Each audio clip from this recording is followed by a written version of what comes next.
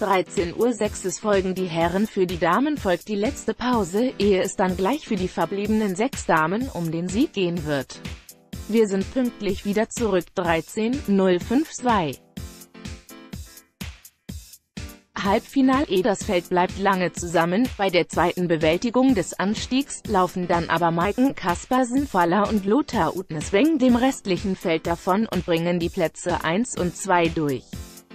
Aufatmen bei den norwegischen Damen, denn so lange lief es schon lange nicht mehr. Anna-Maria Lampisch wird Dritte vor Julia Belorokova, beide sind allerdings ausgeschieden, 13.002.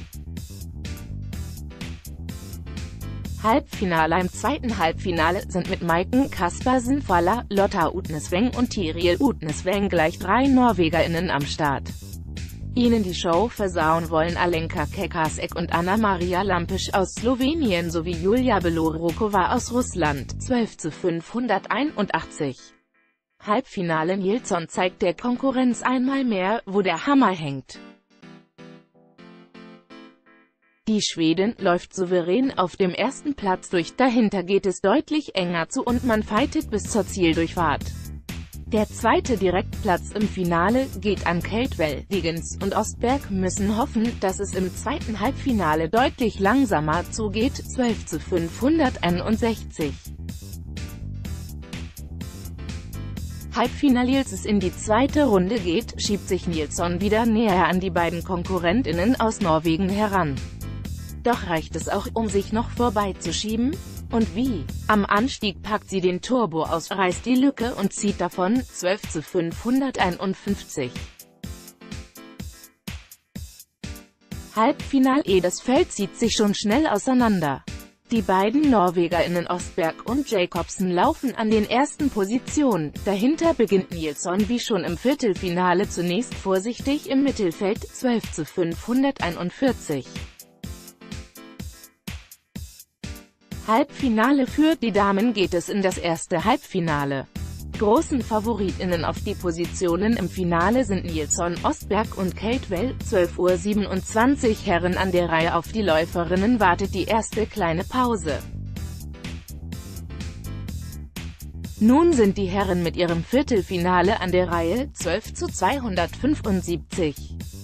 Viertelfinal-Es ist verhext. Laurien van der Graaf kommt wieder ran, doch dann stürzt sie vor dem Ziel noch einmal gemeinsam mit Heidi Weng und landet wieder im Schnee.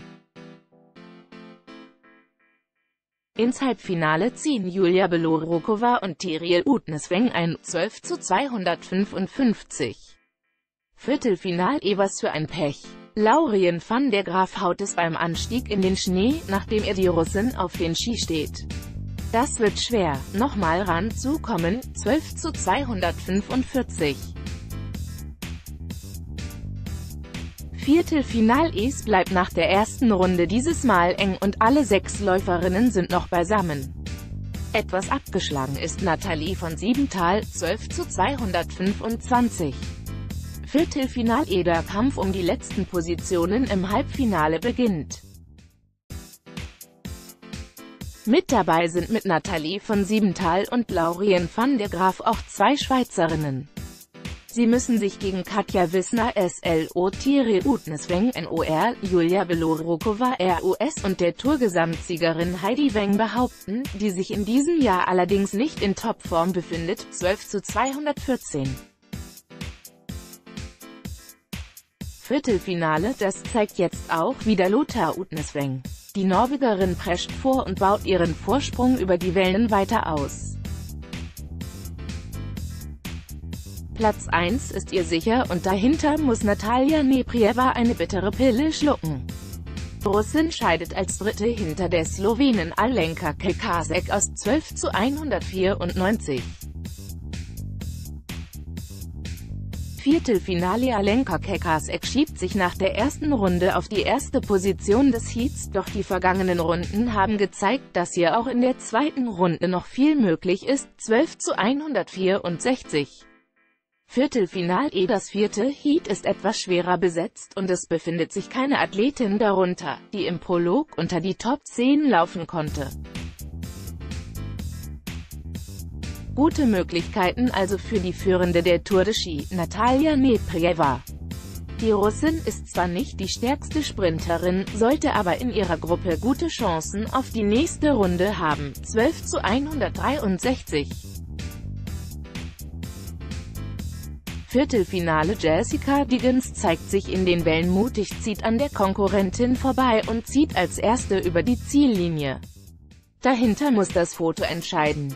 Wer ist direkt weiter? Falla oder Lampisch? Es reicht für Falla aus der norwegischen Mannschaft.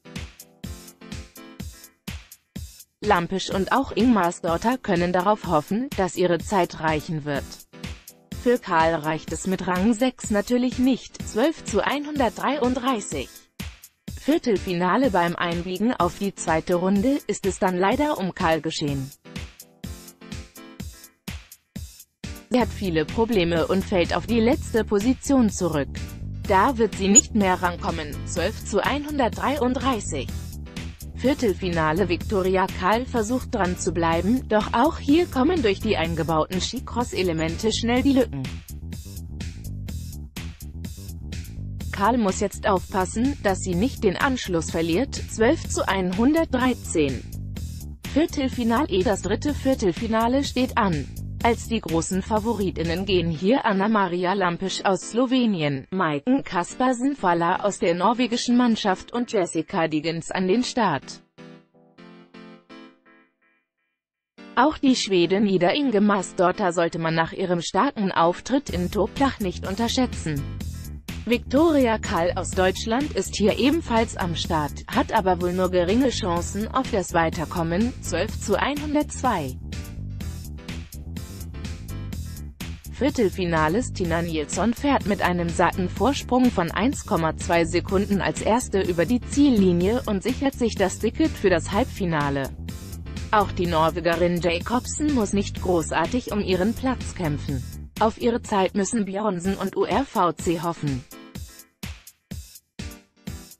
Für Ringwald ist mit Rang 6 klar, dass sie schon ausgeschieden ist, 12.092. Viertelfinales Tina geht auf die Überholspur und übernimmt jetzt doch souverän die Spitze in dieser Gruppe und löst sich von den restlichen Läuferinnen. Mit einer großen Lücke ist Astrid Uhrenhold Jacobsen Zweite, dahinter rangiert derzeit Björnsen aus den USA 12.082. Viertelfinale Dieses Mal gibt es bei den Wellen keine großartigen Probleme und alle Damen kommen hier ohne Schwierigkeiten durch. Wieder herangekämpft hat sich in den Wellen Stina Nilsson, Ringwald ist etwas abgeschlagen, 12.072. Viertelfinale Sadi Bjornsen aus den USA geht das Rennen forsch an und übernimmt direkt die Spitze, um eine kleine Lücke zu reißen. Auch zu Nilsson, was doch schon etwas überraschend ist, 12.062. Viertelfinal-Es wird keine leichte Aufgabe für Sandra Ringwald werden, möchte sie denn das Halbfinale sehen. Die Deutsche, die im Prolog mit Platz 30 gerade noch in den eigentlichen Wettkampf rutschte, bekommt es unter anderem mit Prologsiegerin Stina Nilsson zu tun. Auch die Slowenen Eva Ufch und Sadi Bjornsen aus den USA sind stark einzuschätzen. 12.041 Viertelfinale Flugstart Ostberg bringt das Ding sicher als Erste durch. Ebenso sicher ist Sophie Catewell auf Rang 2. Für Permekoshi heißt es auf die Zeit warten, denn ihr Abstand nach vorne ist riesig. Fendrich kommt abgeschlagen als Fünfte durch 12.031. Viertelfinale im Wildflugstart Ostberg hat das Feld schon schnell auseinandergerissen. Sie führt souverän mit Sophie Caldwell das Feld an. Dahinter folgt mit großem Abstand dann Christa Permekoshi, 12.021. Viertelfinale Nadine Fendrich macht ihre Sache beim ersten Sprung gut und hält die zweite Position. Doch dann wird ihr die zweite Skicross-Einlage in Form von drei Wellen zur Verhängnis. Sie stürzt und kommt nicht mehr hoch. Das Feld zieht davon und sie hat keine Chance mehr auf das Weiterkommen, 12.001. Viertelfinale Das erste Viertelfinale steht an, und das hat es gleich in sich.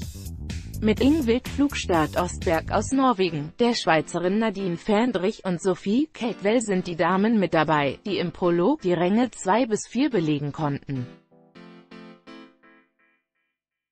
Auf sie und ihre drei KonkurrentInnen wartet eine ganz besondere Strecke.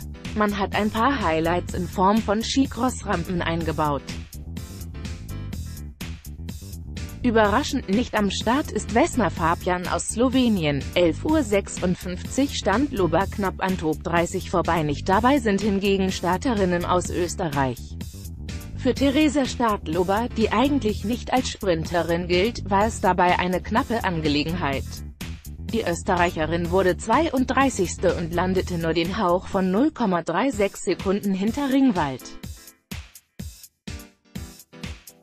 Weit wäre Stadlober durch ihre fehlenden Sprinterqualitäten zwar nicht gekommen, die Bonussekunden hätte die Österreicherin aber sicherlich gerne mitgenommen. 11.48 Uhr, zwei DSV-Damen im Team der deutschen Damen war es einmal mehr eng mit der Qualifikation, am Ende schafften es aber mit Viktoria Karl und Sandra Ringwald mit den Positionen 27 und 30 zwei Langläuferinnen haarscharf in den Bewerb. 11.44 Uhr, drei Schweizerinnen vertreten vor heimischer Kulisse schafften heute alle drei angetretenen AthletInnen aus der Schweiz in den Bewerb.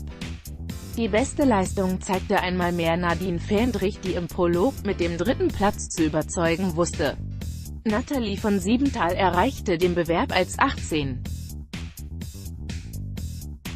des Prologs direkt hinter hier qualifizierte sich Laurien van der Graaf 11.41 Uhr. Es gibt dicke Bonussekunden. Heute gibt es für die Läuferinnen wieder dicke Bonussekunden abzuholen. Die Siegerin im Sprint erhält satte 60 Bonussekunden, für Rang 30 gibt es immerhin noch 4 Sekunden obendrauf. Es lohnt sich also, so weit wie möglich zu kommen, um möglichst viel abzusahnen. Weltcup-Punkte gibt es wie üblich bei Etappenrennen die Hälfte. Heißt, die Siegerin erhält 50 Zähler und nicht 100. Dafür gibt es für die Gesamtsiegerin der Tour de Ski am Ende dicke 400 Punkte obendrauf. 11.36 Uhr Natalia Neprieva führt Tour an nach den ersten beiden Tour-Etappen in Toplach führt die Russin Natalia Neprieva das Klassement mit einer Gesamtzeit von Minuten an. Zweite ist die US-Amerikanerin Jessica Diggins mit 23,6 Sekunden Rückstand zu Rang 1. Auf dem dritten Platz folgt die Norwegerin Ingvild Flugstart Ostberg mit 28,3 Sekunden Abstand. Nathalie von Siebenthal liegt als beste Schweizerin auf Rang 12, Katharina Hennig ist als beste Deutsche 14.